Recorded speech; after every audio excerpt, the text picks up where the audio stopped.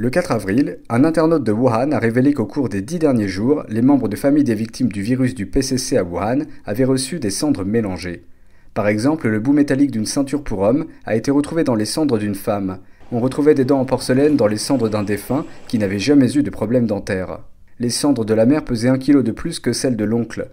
Les habitants craignaient d'avoir reçu des cendres communes. Comment peuvent-elles être enterrées et rendues pour le recueillement? Le 6 avril, une personne a publié un article sur l'incident lié aux cendres communes à Wuhan.